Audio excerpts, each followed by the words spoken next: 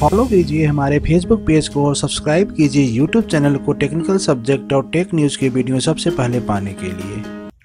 Hello friends welcome to university academy channel last lecture में मैंने discuss किया था फॉर लूप उसका सिंटेक्स फ्लो चार्ट और एक छोटा सा एग्ज़ाम्पल दिया था कि how to print hello five times using for loop अब इस लेक्चर में मैं डिस्कस करने जा रहा हूँ कि आप किसी पर्टिकुलर नंबर को कैसे चेक करेंगे प्राइम नंबर है या नहीं। यानी क्या प्रॉब्लम है हमारी? कि write a program in C to check whether number is prime और नॉट आइए देखिए, सबसे पहले हम इसका लॉजिक डिस्कस करते हैं। लॉजिक डिस्कस करने के बाद हम इसका कोड करेंगे। ठीक है? आइए देखिए।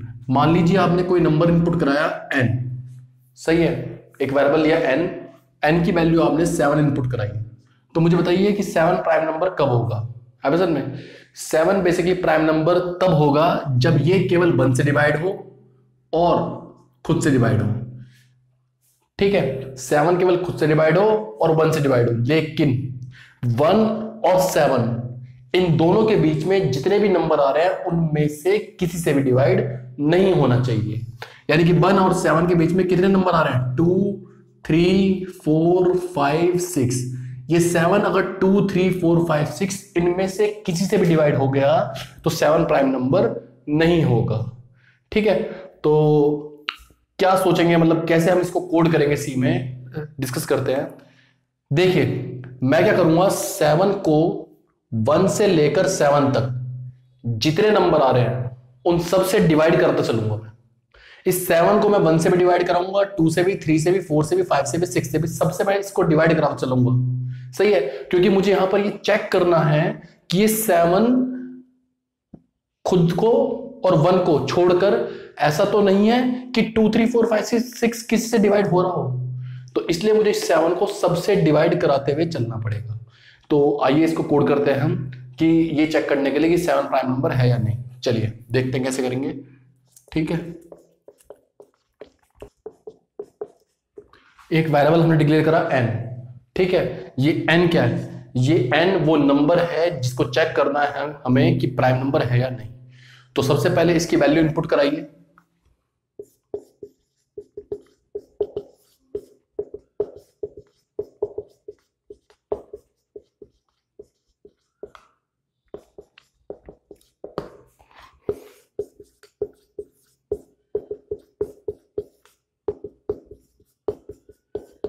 मान लीजिए उस एग्ज़ाम्पल को कंसिडर करते हुए एन की वैल्यू आपने सेवन इनपुट कराई।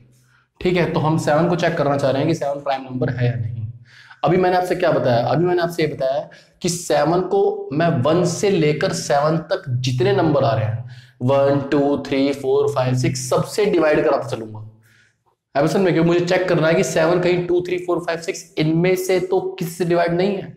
तो बेसिकली जब साफ़ साफ़ मैं आपसे ये कह रहा हूँ कि सेवन को मुझे वन से लेकर सेवन तक सबसे डिवाइड कराना है तो सीधी सी बात क्या है? इसका मतलब क्या है? इसका मतलब यह है कि मैं आपसे यह कह रहा हूँ कि आप एक लूप चलाइए।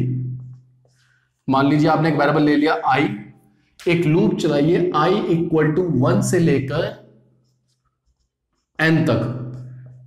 क्योंकि एन वो नंबर है, सही है? जिसको चेक करना है कि प्राइम नंबर है या नहीं। तो सीधी सी बात है, ये लूप वन से लेकर एन तक चलेगा एन की वैल्यू कितनी है सेवन यानी कि सात बार ये लूप चलेगा। ठीक है? फॉर लूप की बॉडी आपने स्टार्ट करी। अब मैंने आपसे क्या कहा था कि आपको इस सेवन को one two three four five six seven सबसे डिवाइड कराते चलना है।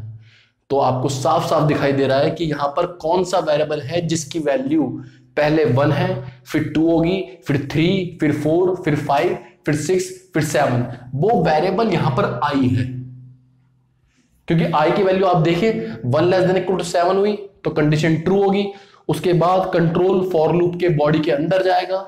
लेकिन आई प्लस प्लस की वजह से वो वैल्यू इंक्रीमेंट होके हो जाएगी टू तो आई वो वेरिएबल है जिसकी वैल्यू वन होगी, फिर two three four five six seven इसका मतलब यहाँ पर हम एन को किससे डिवाइड कराएँगे? आई से। और चेक करेंगे कि रिमाइंडर कहीं ज़ीरो के इक्वल तो नहीं आ रहा।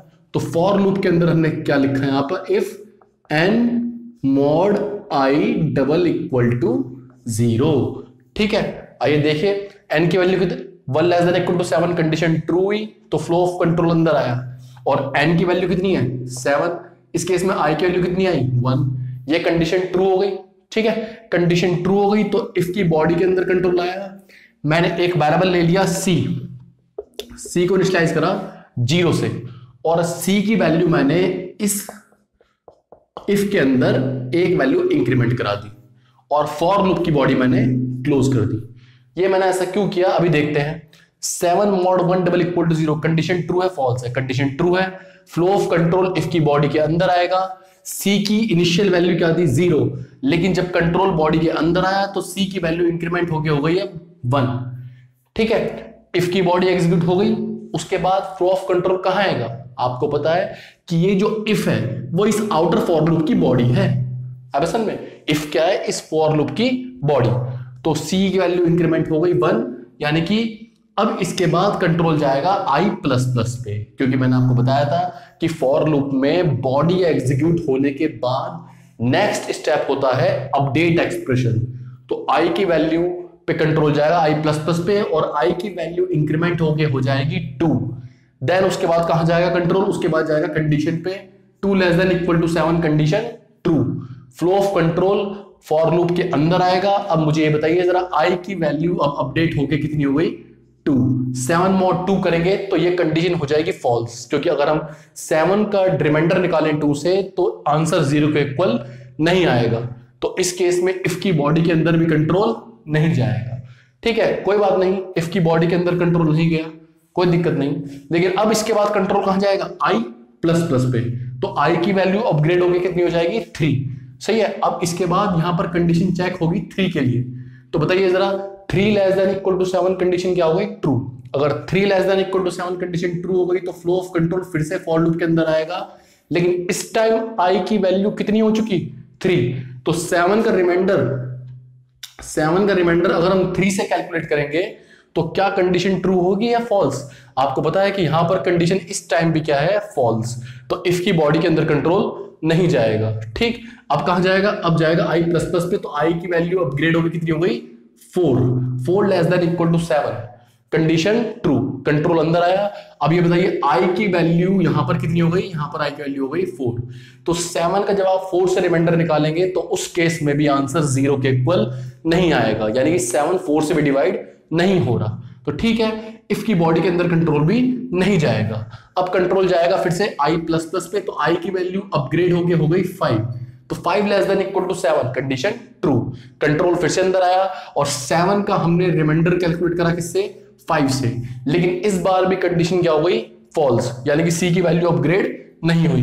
अब कंट्रोल जाएगा आई प्लस प्लस पे तो आई की वैल्यू अपग्रेड होके हो गई six six less than equal to seven condition is true control body के अंदर आया।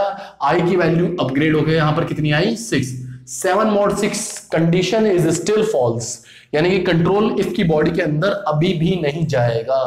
अब कहा जाएगा? आई प्लस प्लस पे। तो मुझे बताइए आई की वैल्यू अपग्रेड हो गई। कितनी हो गई? Seven seven less than equal to seven condition true flow of control for loop के अंदर आएगा।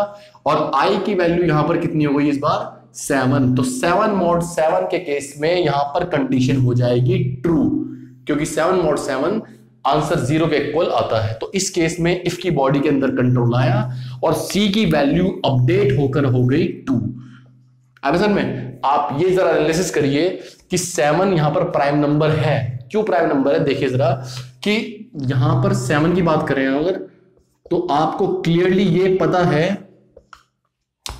कि सेवन जो है, आपको क्लियरली पता है कि सेवन प्राइम नंबर है। सेवन केवल किससे डिवाइड होगा? एक बार खुद से और एक बार वन से। Seven two three four five six किससे डिवाइड नहीं होगा। क्यों नहीं होगा? देखिए जरा। ये कंडीशन जो है N mod I double equal to zero आपको साफ़ साफ़ दिखाई दे रहा है, जब आपने ये लूप पूरा चलाया तो इस पूरे लूप में ये कंडीशन केवल दो बार ट्रू हुई। कितनी बार ट्रू हुई? दो बार। जब एन की वैल्यू जब आई की वैल्यू एक तो वन थी और जब आई की वैल्यू सेवन थी।